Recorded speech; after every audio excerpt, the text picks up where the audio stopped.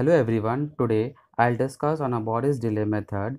Before starting, please subscribe my channels and press the bell icon to get a notification for the upcoming videos. We're going to learn in a Borish delay technique, purpose, equipments and procedures and how to prescribe the glasses on a Borish delay method. This method is very helpful for the for uncorrected hyperopia to achieve a maximum relaxation of accommodation without the cycloplegic resulting in a maximum plus for the maximum visual acuity.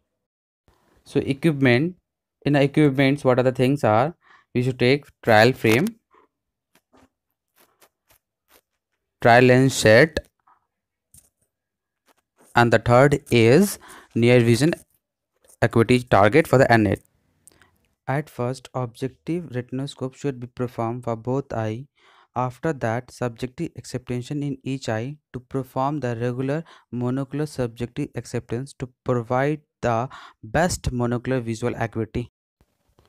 After that, subjective correction is put in the trial frame. Then ask the patients to look at the NA target for the near vision chart at a distance of a 40 centimeter.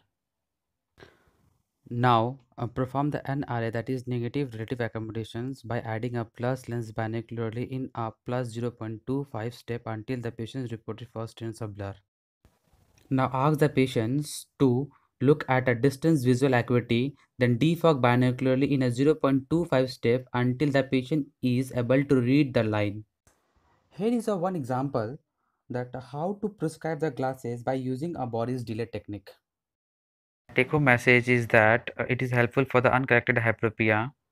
Proper subjective refraction should be performed and while performing an NRA maintain the 40 centimeter near distance.